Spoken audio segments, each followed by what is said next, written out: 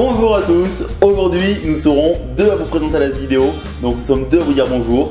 Mon bouton s'est invité sur mon front depuis hier et moi, alors bonjour à tous. Aujourd'hui, je vous ai encore concocté une nouvelle vidéo sur comment draguer par SMS, mais sur un nouveau format. Je vais vous expliquer pas à pas et étape par étape, à travers une caméra cachée, comment fait-on pour tenir la distance lorsqu'on obtient le numéro de téléphone d'une fille dans la rue ou sur internet et que le rendez-vous va être 7 jours après la prise de numéro de téléphone? Je vais vous expliquer comment faut faire pour tenir à distance dans ce laps de temps. Pour vous remettre en contexte, ce numéro de téléphone, je l'ai obtenu grâce à l'application de rencontre Once. Et ce rendez-vous, vous en avez déjà vu une partie dans cette caméra cachée où j'expliquais comment faire pour séduire une fille et être sûr de la revoir. Mais avant de commencer cette vidéo, à la fin et rien qu'à la fin de la vidéo et surtout si la vidéo vous a plu, vous mettrez un gros pouce bleu sur la vidéo, vous vous abonnerez à la chaîne pour suivre toutes les semaines mes nouvelles vidéos relatives à la séduction en ligne et à la drague par SMS. Visitez le site Mon Coaching Séduction qui doit apparaître à peu près ici, mais faites ça en fin de vidéo. Mais surtout, lâchez-vous et profitez des commentaires pour me poser vos questions. Et comme d'une semaine à l'autre, le jeu n'a pas changé, pour ceux qui trouveront le message caché dans la description, vous pourrez alors peut-être gagner un coaching par tirage au sort. Mais pour l'instant, il vous reste une seule chose à faire, c'est suivre la vidéo qui commence maintenant.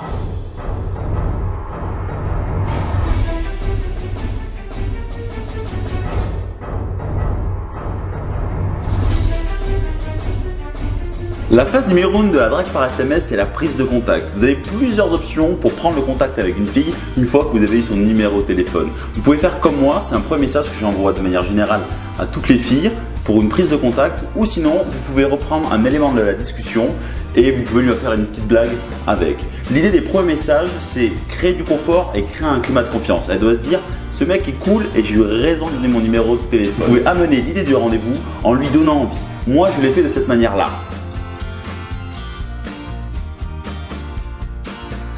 Devez savoir, à chaque fois que vous prenez un numéro de téléphone, vous devez faire en sorte de ne pas le prendre pour simplement la draguer par SMS, mais vous devez le prendre parce que vous savez que vous allez la revoir et qu'elle sait que vous allez vous revoir. C'est très important, comme ça, ça facilite grandement la drague par SMS. Moi ici, j'ai suscité son envie de venir me voir en rendez-vous en lui donnant envie. En ne parlant pas frontalement du rendez-vous, ça me permet de ne pas montrer de l'impatience de ma part parce que l'impatience, ça fait fuir les filles. Donc vous ne devez pas vous montrer impatient par SMS, sinon vous allez la faire fuir. Vous avez pu voir sa réaction sur les SMS, elle approuve immédiatement ma proposition de rendez-vous. Enfin, la proposition sous-entendue de rendez-vous, ça veut dire que je suis dans le bon tempo.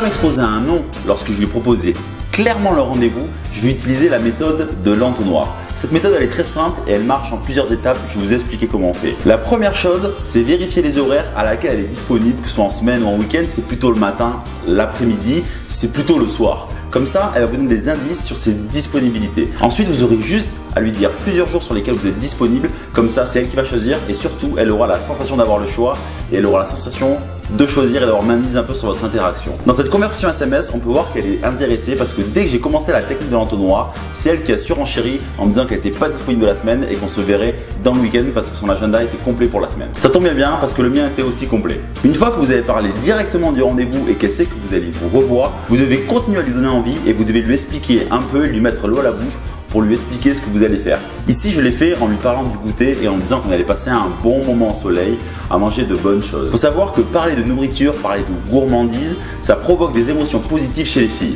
N'oubliez pas, je le répète assez souvent dans mes articles, et dans mes vidéos, pour le premier rendez-vous, vous devez faire passer un bon moment à la fille et vous devez lui faire vivre une expérience. Beaucoup trop de mecs vont simplement boire un verre et ça ne va pas vraiment susciter l'intérêt de la fille pour venir vous voir. Alors si vous voulez être sûr et mettre toutes les chances de votre côté pour voir cette fille, je vous conseille de lui proposer une idée originale pour qu'elle sorte et qu'elle vienne vous voir plus facilement.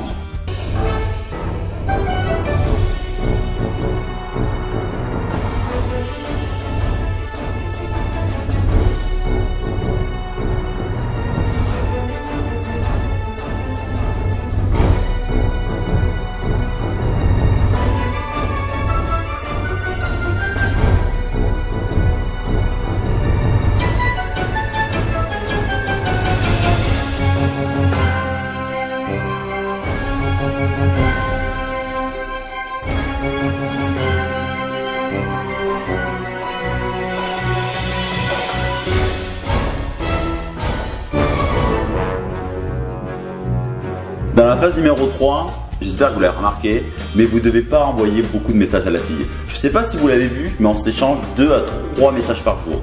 Quand vous devez tenir la distance comme ça pendant une semaine, ne vous, envoyez, ne pas 15 messages par jour. Vous aurez largement le temps pendant le premier rendez-vous de discuter et d'échanger avec elle pour apprendre des choses sur elle. Ça met un peu plus de palpitant de pas trop discuter avec elle par SMS et surtout vous garderez de la spontanéité pour le premier rendez-vous. Ça permet aussi une autre chose, de n'envoyer que 2 à 3 messages par jour. Vous ne faites pas preuve d'impatience. Les filles détestent les mecs impatients. Ça permettra aussi de créer un peu d'impatience chez elles et d'inverser les rôles, donc c'est plutôt pas mal et ce sera plutôt positif pour vous. Ça vous aidera pour la suite des choses. Vous avez pu le voir dans cette discussion par SMS, il m'est arrivé même pendant 48 heures de ne pas lui écrire.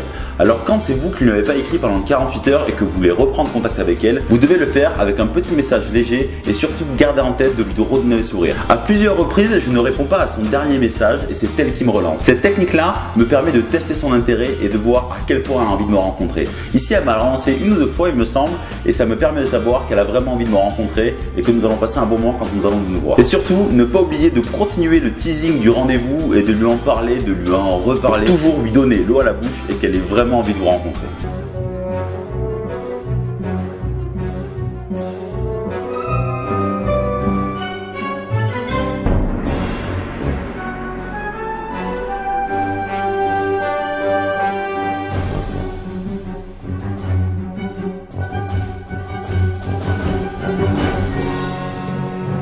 La phase numéro 4 de la drague par SMS, vous devez verrouiller le rendez-vous. Là, vous avez parlé clairement du rendez-vous, elle sait que vous allez vous voir, elle sait à quel jour et à quelle heure, mais la veille du rendez-vous, verrouillez clairement que vous verrez demain à telle heure. C'est très important pour la faire s'engager dans le rendez-vous et vous serez sûr que vous ne posera pas de lapin.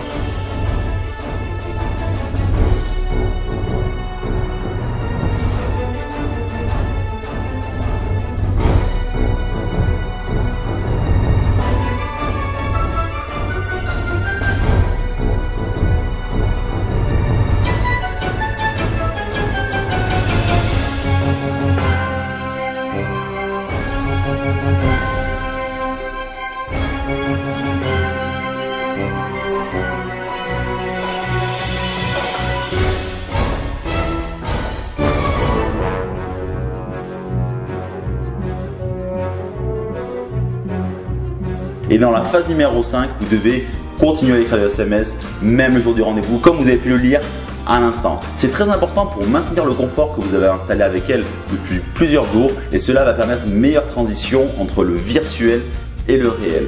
Gardez du confort, comme ça, elle vous aura à l'esprit et ce sera plus facile lorsque vous la verrez dans quelques heures. Lorsque vous avez une longue période à échanger par SMS, le fil conducteur de vos échanges par SMS, ça doit être le rendez-vous et le fait que vous allez vous rencontrer. Faites comme j'ai fait là, donnez-lui envie, taquinez-la, mettez-lui l'eau à la bouche pour qu'elle reste en haleine et qu'elle ait envie de vous voir et qu'elle ne se désiste pas au dernier moment parce que les échanges par SMS sont trop longs. L'idée en envoyant 2 à 3 SMS par jour et des fois en ne donnant pas de nouvelles pendant 48 heures, c'est de rester dans son esprit. Ce n'est pas en l'assommant de SMS et en envoyant plein de SMS que vous allez être sûr de l'avoir, car pendant tous ces SMS que vous lui enverrez, vous ferez certainement des erreurs et peut-être qu'il vous posera un lapin qui vous dira non, je n'ai plus envie de te voir. Donnez-lui envie de vous voir en la projetant rendez-vous avec vous et surtout en lui disant qu'elle va passer un très bon moment avec vous. Et voilà, la vidéo est terminée. Mon bouton et moi, nous vous disons un grand merci pour l'avoir visionné entièrement. N'oubliez pas ce que j'ai dit en introduction et nous vous disons un grand au revoir